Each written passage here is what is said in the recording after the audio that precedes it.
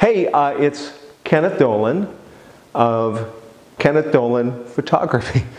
Uh, anyhow, I want to talk to you about um, being your best self in your photos and your most attractive self. And I'm going to share a bunch of videos about this, but um, here's a concept um, about being your best you. I think a lot of people come to me and they like want to be something that's not really true. They want like glamours on, makeup, enhance my cheekbones, give me model glow, I want frosty under my eye and eyeliner, and they, they would never really do that, right?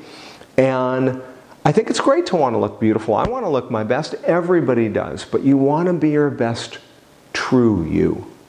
Um, if you can't replicate the 800 tendrils sticking out, the hair that's raised over here that you would never do in real life and never show up at an audition with, if you can't replicate extreme model makeup, I don't know if it'll benefit you at your auditions because, or meeting agents. You don't want to walk in a room and have somebody looking at your headshot and then they look up and they go,